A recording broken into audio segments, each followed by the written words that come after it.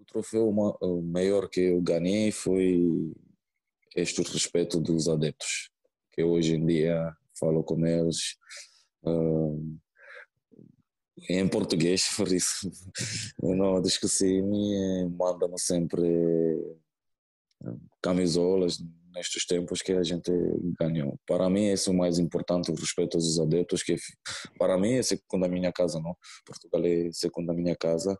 Eu nunca vou esquecer os tempos passados para o Sporting Clube de Portugal e os, os troféus que eu ganhei com, com o Sporting.